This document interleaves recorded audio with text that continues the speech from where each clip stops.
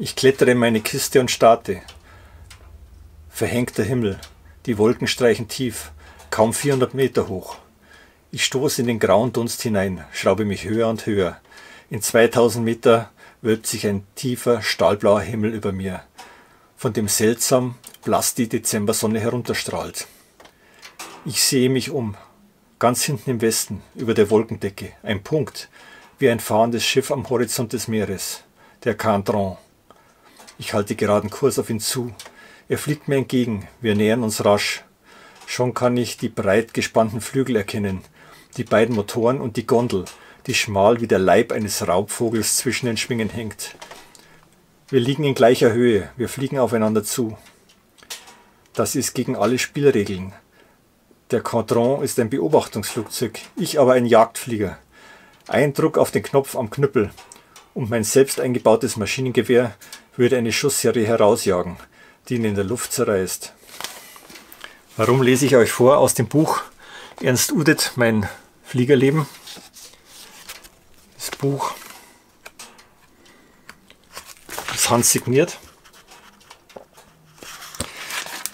Ganz einfach, ich möchte mir wieder ein Flugzeugmodell bauen und dann habe ich mich entschieden für die Fokker E3.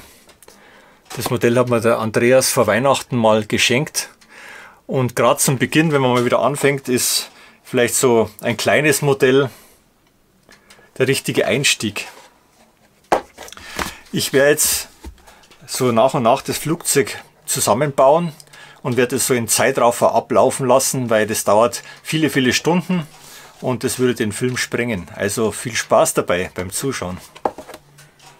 Schauen wir mal, was da drin ist in dem Bausatz.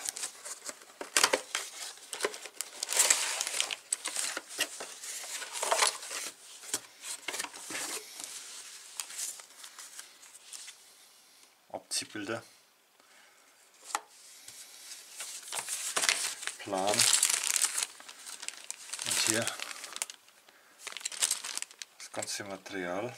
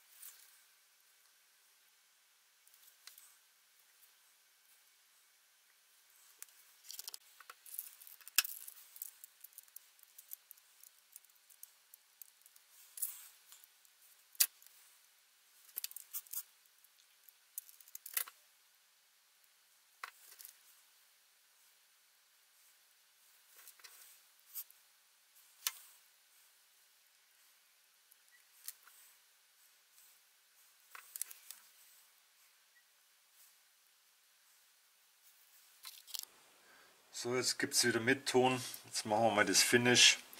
Also ich muss sagen, der Bausatz war ziemlich Fieselei und relativ ungenau.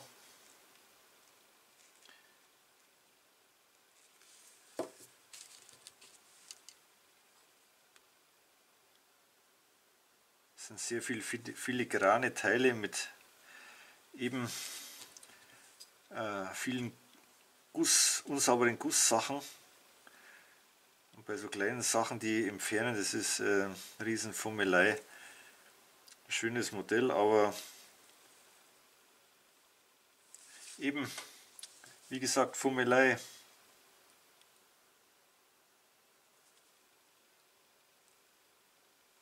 Hier oben kommt noch die Abstützung drauf. Mal schauen, ob ich das nachher mit Fäden mache, wenn es lackiert ist. Muss ich gucken.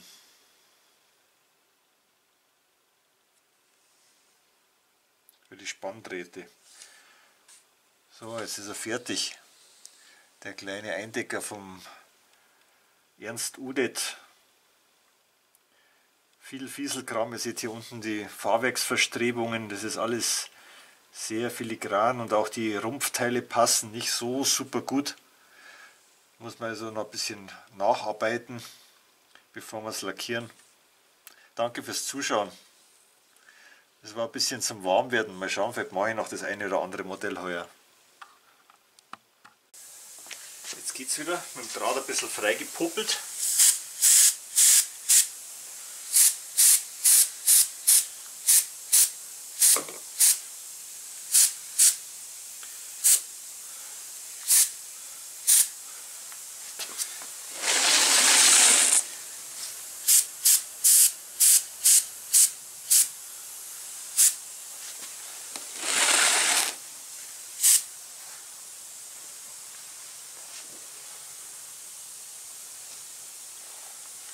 stellen wir es mal aufs Fahrwerk. Dann machen wir sie oben. Ich benutze hier ganz eine uralte, ganz billige Revell Sprühpistole, die ist ideal für sowas.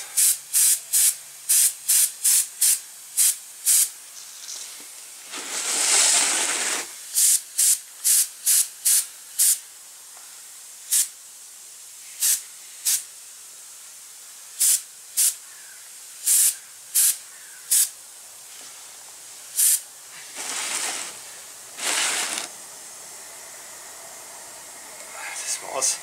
Ich mache es ja nicht ganz so fett. Dann sieht man dieses Braune noch ein bisschen durch. Das wird dann ein bisschen ein transparenter Look.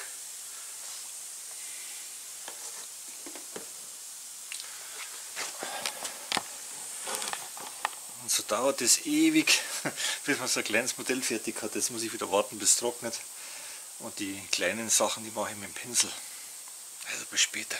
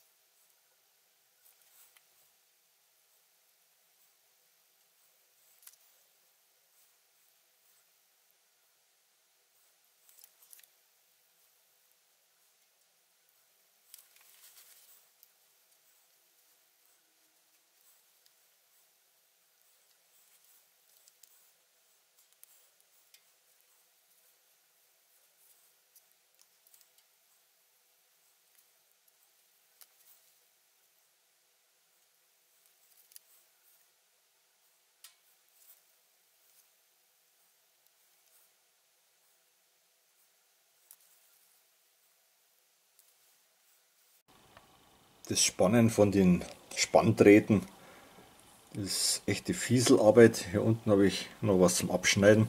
Also das ist wirklich Filigranarbeit. Das muss man sich überlegen, ob man das macht. Ob das die Detailgenauigkeit wert ist.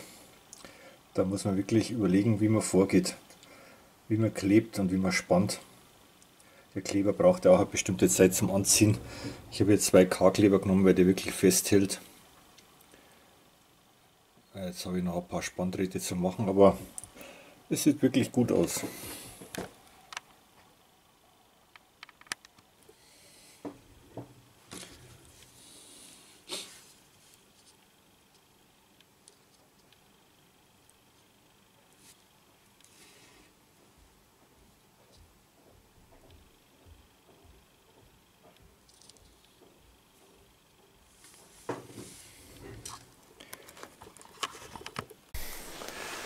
Kaum sind zwei Tage vergangen, ist das Modell auch schon fertig.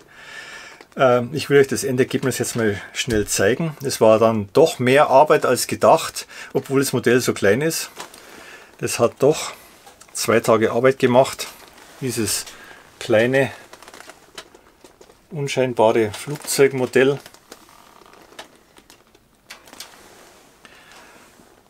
Abgestellt habe ich es jetzt in so einem kleinen Diorama, so einer Splitterbox einer, hm, schaut ganz gut aus. Schaut her, so ist es geworden.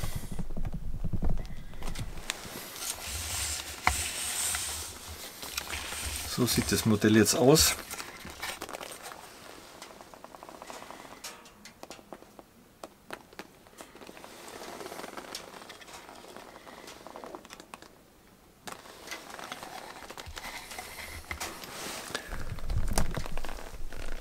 Hoffe, es hat euch Spaß gemacht, beim Basteln zuzuschauen. Mal schauen, ob ich demnächst mal was Größeres mache. Bleibt mir gewogen. Ciao, Servus und bis zum nächsten Mal.